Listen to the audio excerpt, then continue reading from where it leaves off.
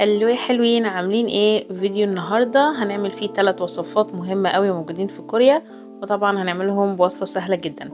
أول حاجة هنعملها هو التوكبوكي الكوري وهنستخدم فيه صوص الكوتشوجانج اللي هو الحار أو بنقول عليه معجون الفلفل الحار اللي هو الكوتشوجانج الصلصة الحارة وممكن نستبدلها بشوية بابريكا و soya sauce وشوية tricks كده هعملها لكم في فيديو تاني.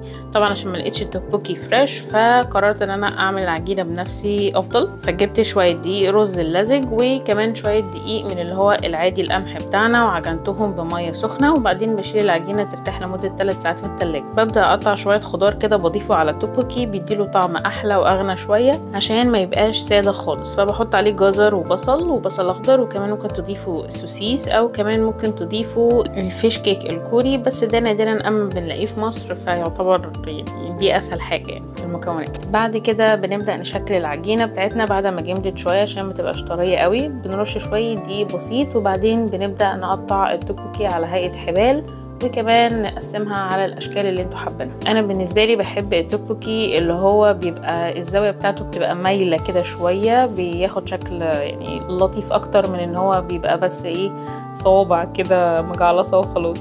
طبعا ال process ديت بتاخد وقت طويل قوي فأنتوا ممكن تشتروه جاهز عادي جدا فعشان تريحوا نفسيكوا. ويعتبر بتبقى هي هي نفس التكلفة لأن برضو دقيق الرز بيبقى غالي يعني سيكا إلى حد ما. في طاسة على النار أو في حلة فيها مية مغلية بننزل عليها بالتوكبوكي بتاعنا اللي هو ال homemade اللي إحنا عملناه في البيت عادي جدا. وبيتسلق لمدة حوالي عشر دقايق أو ربع ساعة بالكتير قوي لحد ما تطلعوه يبقى بال texture دوت. يعني عايزين القوام بتاعه يبقى طري كده وملمسه بيكون ناعم كده عامل زي المطاطي كده. بعد كده بطلع التوكبوكي بتاعنا في مية ساقعة على جنب عشان بس أوقف السوى بتاعه آه وكمان أبدأ أعمل الصوص بتاعه. في نفس الطاسة أو الحلة اللي سلقنا بيها بالمية بتاعة التوكبوكي بحط فيها soya sauce وزيت سمسم وسكر وكمان يا إما بقى كوتشوجانج أو يا إما كاتشب يعني أنا حطيت كاتشب. وكمان شوية الخضار اللي إحنا قطعناهم وشطة. ده بدائل الكوتشوجانج حاليا. وشوية بابريكا طبعا. عشان بس الناس اللي إيه مش لاقية معجون الفلفل الحار أو اللي هو صوص الكوتشوجانج بتاع التوكبوكي. وبعدين ببدأ أصفي التوكبوكي وأحطه على المزيج بتاعنا.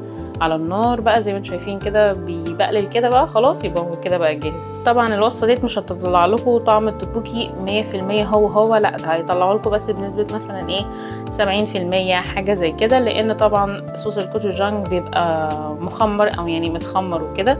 مش خمرة أو حاجة أو يعني حاجة مش حلال لأ هو متخمر عشان بيبقى فيه فول صويا بس هو بيكون حلال ما تقلقوش. وبس كده دي كانت وصفة ال 떡볶이 أتمنى تكون عجبتكم. يلا بينا نخش على الوصفة اللي بعدها وهو ال corn dog الكوري أو المشهور في كوريا بعيدان السوسيس المقرمشة. طبعا أنا عملت كل الأنواع بالسوسيس. يعني في في بعض الأحيان يعني الناس بتعمله بالجبنة يعني نص سوسيس ونص جبنة. طبعا ما لقيتش جبنة في السوق اللي هي الصوابع اللي هي ينفع تسيح وكده. فعملتها بالسوسيس مفيش مشكلة. طبعا هنجيب شوية دقيق وخميرة وسكر ومية دافية وبس كده.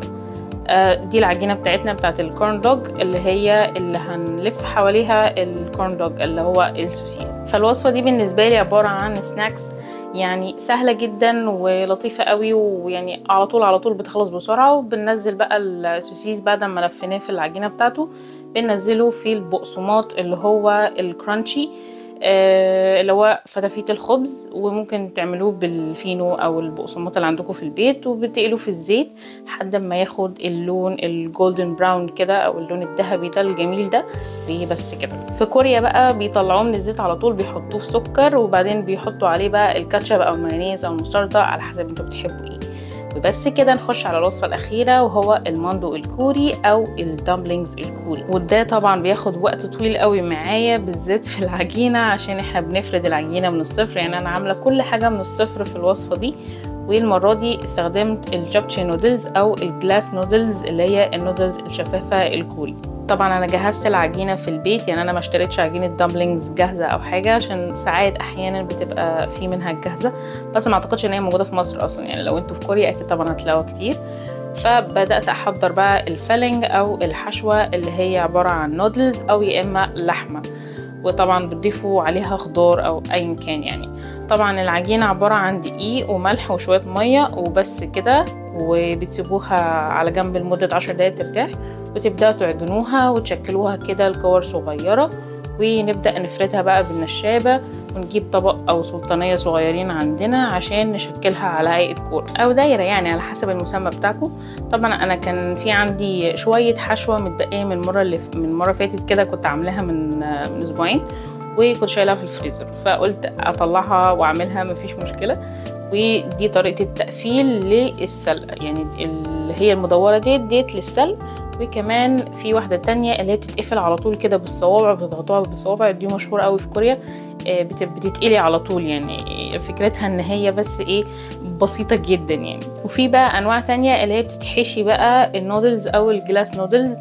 ودي دقتها في مطعم كوري هنا في مصر بجد كانت خطيرة جدا. وده اللي خلاني إن أنا أجرب أعملها بالجابتشي نودلز أو بال glass noodles. وطبعا ال dumplings ليها أشكال كتيرة قوي وأشكال متنوعة قوي. فلو حابين إن أنا أعمل لكم فقرة مخصوصة لل dumplings أو ال 만두 الكوري أشكالها معينة وإن إحنا نقفلها سوا سوا أعملها لكم مفيش مشكلة. وبس كده عملت جزء مسلوق وعملت جزء fried اللي هو المقلي وأنا بصراحة بفضل المقلي أكتر عشان أنا بحب الحاجات ال fried طبعا بقى ممكن تغمسوها في أي صوص أنتوا بتحبوه.